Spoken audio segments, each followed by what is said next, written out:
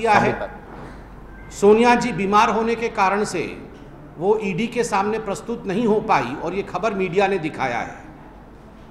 कल राहुल गांधी ईडी के सामने प्रस्तुत होने का तारीख है। प्रस्तुत होते हैं नहीं होते हैं वो कल बताएगा। किंतु आश्चर्य का विषय नेशनल हेराल्ड को लेकर जिस प्रकार से एक नाटक नौटंकी करने का काम कांग्रेस पार्टी और खास करके गांधी परिवार कर रही है कहीं ना कहीं ये उनके चोरी को साफ़ रूप से बता रहा है। ये दर्शा रहा है कि कुछ ना कुछ गड़बड़ है। कुछ ना कुछ गांधी परिवार छुपाना चाहती है, वरना ऐसा क्या है?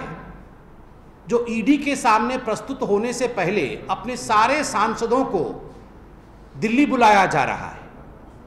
यहाँ सत्याग्रह करने का ढोंग रचाया जा रहा है। आज प्रश्न उठता है कि सत्य को उजागर करिए, ये सत्याग्रह करने का ढोंग मत करिए। There is no use of all this drama if you really want to assist the law of the land and if you want to abide by the rule of this country the present yourself in front of the ED and tell the truth जो हकीकत है, जो सत्य है, उस सत्य को आप बताइए, ये नौटंकी करना बंद करिए। आज देश भर में कांग्रेस के जो नेता हैं, वो प्रेस कॉन्फ्रेंस कर रहे हैं। ये देश भर में कहीं दिग्विजय सिंह और कहीं उनके प्रवक्ता, वो प्रेस कॉन्फ्रेंस करने से क्या हो जाएगा? राहुल गांधी जाके ईडी के सामने सत्य को कबूल करें कि हाँ, उन्होंने 500 करोड़ का गबन किया है।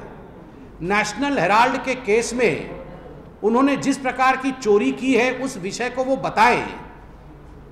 इसी से the rule of the land would be followed हमारे लिए ये अनिवार्य है कि आखिरकार ये नेशनल हेराल्ड केस क्या है? What is the National Herald case इस विषय में मैं आज आपको बताऊँ। आपको पता होगा कि 1937 में जवाहरलाल नेहरू, जो बाद में चलकर हिंदुस्तान के प्रधानमंत्री बने, उन्होंने एक एसोसिएटेड जर्नल कंपनी नामक एजेएल एसोसिएट जर्नल लिमिटेड नामक एक कंपनी बनाई। इस कंपनी का काम था तीन अखबारों को छापना, एक अंग्रेज़ी अखबार जिसका नाम नेशनल हेराल्ड है, एक हिंदी में नवजीवन नामक का अखबार और उर्दू में कौमी आवाज़। ये तीन अखबार नेशनल हेराल्ड की जो कंपनी एजेएल थी, ये छापती थी 1937 से। पाँच हज़ार फ्रीडम फाइटर से उनसे पैसा जमा करके जवाहरलाल नेहरू ने ये शुरू किया था तो ये कंपनी जो है एजेएल ये पंडित जवाहरलाल नेहरू की कंपनी नहीं थी। ये उनका व्यक्तिगत प्रॉपर्टी नहीं था। ये पाँच हज़ार स्वतंत्रता सेनानियों के, उनके द्वारा दिया हुआ डोनेशन के माध्यम से एक पब्लिक कंपनी थी, जिसका काम था हिंदुस्तान के विषय को आगे बढ़ाना। किंतु चूँकि ये कंपनी थी जो फ्रीडम फाइटर के द्वारा आरंभ किया गया था तो पूरे हिंदुस्तान में, कई स्थानों पर, दिल्ली में, मुंबई में, हरियाणा में, इंदौर में, भोपाल में, इनको औने पौने दाम पर प्राइम प्रॉपर्टी एलोकेट किया गया, ज़मीन दी गई। आपने देखा है दिल्ली में इनकी इनकी प्रॉपर्टी कहाँ है, इनका ऑफ़िस कहाँ है। आज अगर उस स्थान का आंकलन किया जाए और ये सभी प्रॉपर्टी के आंकलन को जोड़ा जाए तो लगभग पाँच हज़ार करोड़ की प्रॉपर्टी ये जो कंपनी है एजेएल उसके पास मौजूद थी। Approximately five thousand crore worth property was present with AJL समय के साथ साथ ये जो एजेएल थी एसोसिएट जर्नल लिमिटेड ये अब लॉस में जाने लगी थी। सत्तर के दशक में ही लॉस में जाने लगी थी और 2008 आते आते ये कर्जे में डूब गई थी और ये कंपनी बंद हो गई। न्यूज़पेपर छापना, नेशनल हेराल्ड छपना, नवजीवन छपना, उर्दू अखबार छपना, ये बंद हो गया और ये कॉमर्शियल एंटिटी बन गई। और ये जो कर्जा में डूबने का विषय मैंने आपके सामने रखा, ये कर्जा लगभग नब्बे करोड़ रुपए का था। 90 crore worth debt worth loan was taken by AJL ये लोन किससे लिया था? ये लोन लिया गया था कांग्रेस पार्टी से।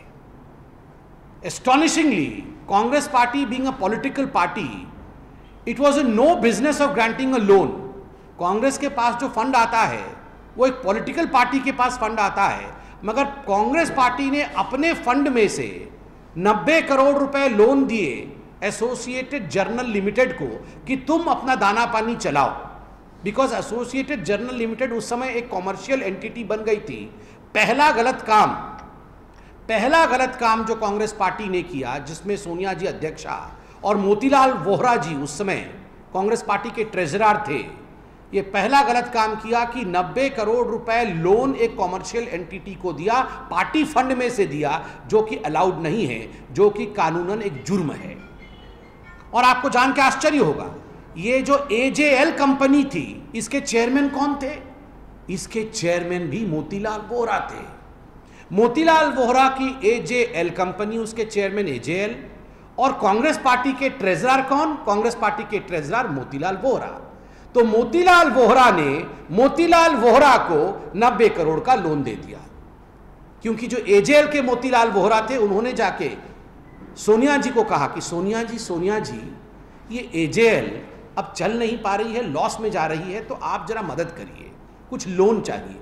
तो सोनिया जी ने एजेएल के मोतीलाल वोहरा जी को कहा अच्छा आप जरा कांग्रेस के मोतीलाल वोहरा जी के पास जाइए, वो हमारे ट्रेजरर हैं, और उनसे बोलिए कि हमें लोन चाहिए। तो एजेएल के मोतीलाल वोहरा ने कांग्रेस के मोतीलाल वोहरा को कहा, हमें जरा नब्बे करोड़ का लोन दे दीजिए। तो कांग्रेस के मोतीलाल वोहरा ने एजेएल के मोतीलाल वोहरा को नब्बे करोड़ दे दिया सोनिया जी के कहने पर। इसके बाद क्या हुआ? ये सोनिया गांधी, राहुल गांधी, मोतीलाल वोहरा ने मिलकर एक और कंपनी बनाई। उस कंपनी का नाम था यंग इंडिया लिमिटेड। वैसे राहुल गांधी चिरंतन यंग कहते हैं अपने आप को, शायद नाम भी इसीलिए यंग इंडिया लिमिटेड रखा है। तो यंग इंडिया लिमिटेड में डायरेक्टर कौन? सोनिया गांधी, राहुल गांधी, मोतीलाल वोहरा इन्होंने मिलकर एक कंपनी खोली, Young India Limited. Young India Limited ने क्या किया? यंग इंडिया लिमिटेड ने सोनिया गांधी और राहुल गांधी ने मोतीलाल वोरा को बुलाया। बोला, मोतीलाल वोरा जी, सुनिए जरा। मोतीलाल जी ने बोला, यस, मैडम। तो सोनिया जी ने और राहुल जी ने मोतीलाल जी को कहा, आप यंग इंडिया वाले मोतीलाल वोरा, अब आप जाके जो मोतीलाल वोरा एजेएल के हैं, उनसे मिलिए। और उनको बोलिए कि जो 90 करोड़ का लोन लिया था एजेएल वो अब यंग इंडिया चुका देगी, बदले में आप ये सारी कंपनी हमें बेच दीजिए।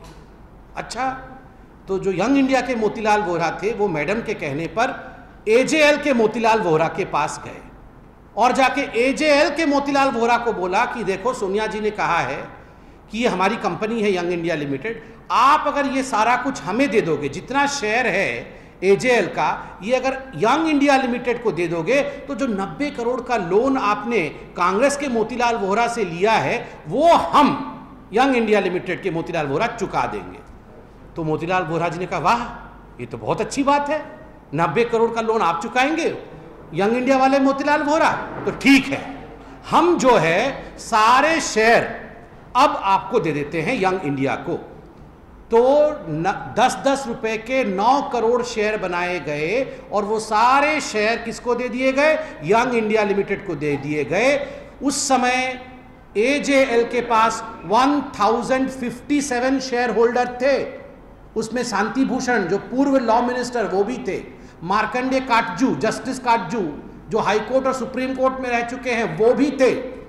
मगर उनमें से किसी से भी पूछा नहीं गया कि आप शेयर होल्डर हैं, क्या हम शेयर को बेच सकते हैं? बिना शेयर होल्डर से पूछे एजेएल के मोतीलाल वोहरा ने सारे शेयर उठा करके यंग इंडिया को दे दिया। तो एजेएल अब प्रॉपर्टी किसकी हो गई?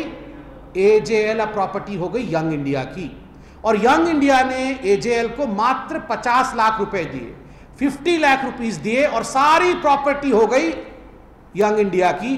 और साथ ही जो पाँच हज़ार करोड़ रुपए की प्रॉपर्टी थी, property worth five thousand crore rupees in various cities of this country they became part of Young India वो सारा इन्होंने पचास लाख रुपए दे करके सारी प्रॉपर्टी भारतवर्ष का यंग इंडिया के नाम पे हो गई। यंग इंडिया कंपनी सोनिया और राहुल जी ने आपको आपको पता है कितने में शुरू किया था? Only by paying five lakh rupees पाँच लाख रुपया पे किया था। पाँच लाख रुपए में कंपनी आरंभ करके पाँच हज़ार करोड़ की प्रॉपर्टी के मालकिन और मालिक सोनिया और राहुल गांधी बन गए। उसके बाद क्या हुआ वो आप सुनेंगे तो और आश्चर्यचकित हो जाएँगे।